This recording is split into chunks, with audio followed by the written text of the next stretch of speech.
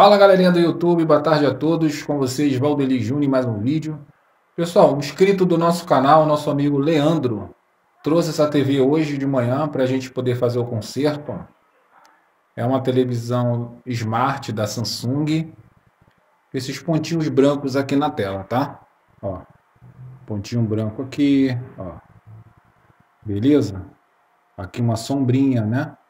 Quase com a meia lua. Ver se tem mais algum aqui. Tem um aqui também, ó. Beleza? Então ele trouxe pra gente com esse defeito aí.